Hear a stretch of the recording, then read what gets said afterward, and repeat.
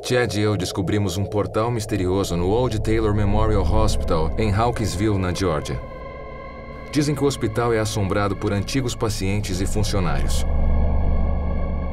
Também pode ser habitado por um vulto que supostamente ataca pessoas há anos. Eu fico apreensivo para encontrar essa entidade, mas eu quero saber mais sobre ela. Então me preparo para minha investigação sozinho à noite no hospital. Eu vou monitorar a câmera externa no hospital para ver se ninguém entra ou sai. Quando estiver lá dentro sozinho, estará sozinho mesmo. E vou monitorar a câmera de comunicação na sala do incinerador, onde fizemos os experimentos com David e onde achamos que há atividade de portal. Certo? Eu vou conseguir te ouvir, mas você não vai conseguir me ouvir. Também colocamos câmeras fixas em posições estratégicas dentro do hospital para gravar. John ficará isolado pelo resto da noite, por isso tomamos algumas precauções. Botão, Botão de, pânico. de pânico.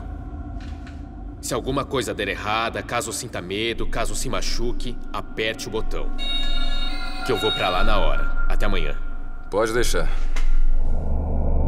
Com o anoitecer, eu começo a minha investigação sozinho. Investigar sozinho pode ser perigoso, mas é o único modo de conseguir evidências sem nenhuma interferência humana. Eu vou direto para a única sala de cirurgia do hospital. Há 26 anos, eu morri em uma sala parecida com esta. Fiquei sem batimentos por mais de dois minutos, mas o além assustador que eu presenciei parecia uma eternidade. Eu vou olhar a câmera de comunicação enquanto John estiver por lá.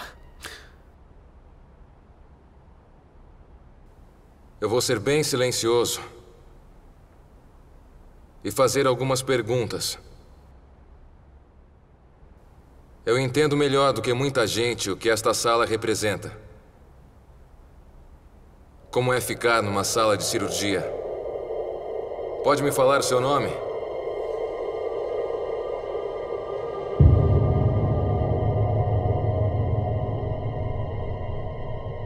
Tem um equipamento aqui e posso não ouvir sua resposta agora. Mas sei como é difícil tentar falar. Eu uso a sessão de transcomunicação para dar aos espíritos um jeito de responder. Através dela, captamos a voz deles, normalmente inaudíveis ao ouvido humano mas que podem ser detectadas ao se manifestarem em dispositivos de gravação. Eu sei que pode ter apenas um portal bem pequeno para você responder, mas eu agradeço por todo o seu esforço. Apesar de sentir uma boa afinidade com esta sala, eu não consigo uma resposta. Então vou para a sala do incinerador, onde mais cedo vimos sinais de um portal se formando e onde também ouvimos o que parecia uma mulher gemendo, possivelmente a voz da famosa enfermeira do Old Taylor.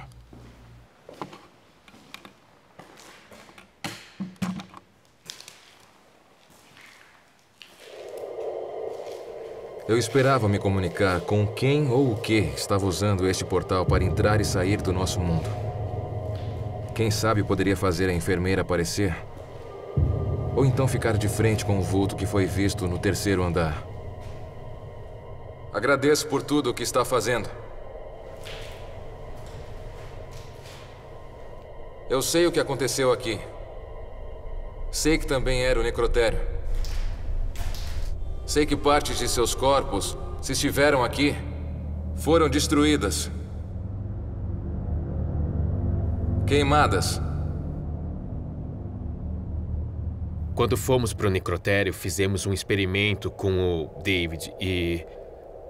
Nós usamos a bobina de Tesla para ver se havia vórtices e portais na sala.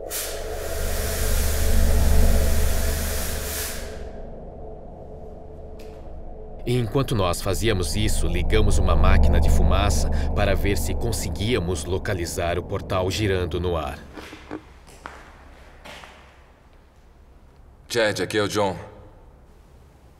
Eu liguei a bobina de Tesla para aumentar a carga de eletricidade estática dentro de mim. Pode facilitar para seja lá o que está aqui se comunicar comigo. Eu esperava que a energia que eu apliquei em mim mesmo atraísse espíritos e outras entidades.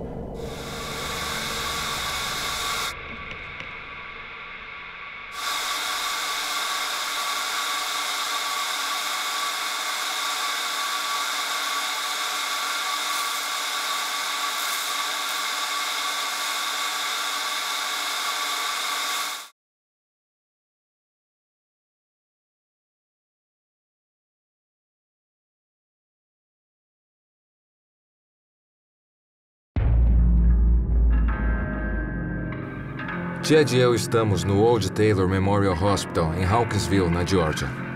Investigamos se as supostas aparições de uma enfermeira, seus pacientes e um misterioso vulto chegaram através de um portal e se chegaram, por quê? Após horas investigando o local sozinho, chego à sala do incinerador, também conhecida como necrotério, onde uma bobina de Tesla pareceu fornecer energia suficiente para um portal se manifestar. Decidi repetir o experimento da manhã e injetar 50 mil volts de eletricidade não no ambiente, mas em mim mesmo.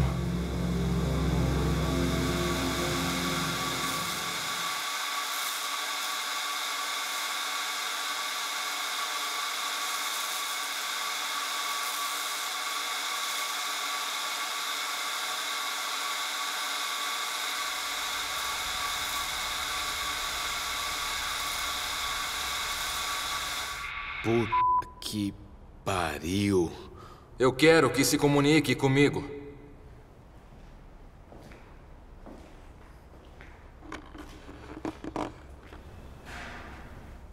Ah, Uau. Você está aqui embaixo comigo? Uau. Viu o que aconteceu?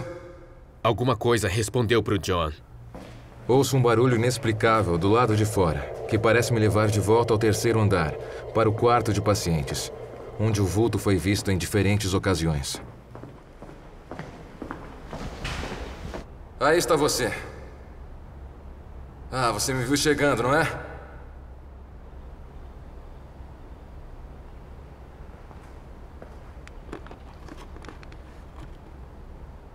É uma corrida? Quer correr de volta?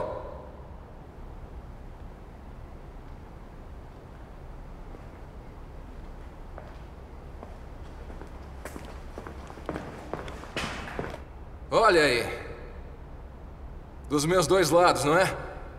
Alguns acreditam que os vultos são entidades más e não humanas, que usam portais abertos para entrar em nossa dimensão e causam caos, desordem e desespero.